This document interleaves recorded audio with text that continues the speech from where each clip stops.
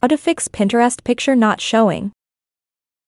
In this video, I'm going to show you how you can fix if your Pinterest images are not loading and not showing up so let's go into it first of all what you need to do is you are going to actually open your Pinterest. So the first thing you need to check is you need to check from your internet connection because that's why your Pinterest pictures are not showing up, but you have a good internet connection so what you can do is go to your profile here and click on these three dots. At the top click on Settings inside your settings you need to click on privacy and data and now you'll scroll all the way and you'll be able to see the now erased app cache and sometimes there's a lot of cache here that Pinterest takes time to load so you need to clear this once you clear this then of course it will help you. And your images will load normally hurry up because all you know wasted data will be deleted otherwise. You can also reinstall your app if you feel that Pinterest is not working you can uninstall Pinterest and install it again hope this works for you.